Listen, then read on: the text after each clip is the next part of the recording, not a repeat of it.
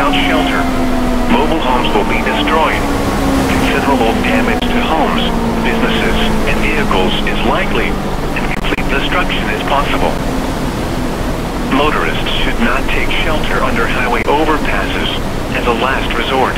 Either park your vehicle and stay put, or abandon your vehicle and lie down in a low-lying area. Heavy rainfall may obscure this tornado. Do not wait to see or hear the tornado. Take cover now. Tornadoes are extremely difficult to see and confirm at night.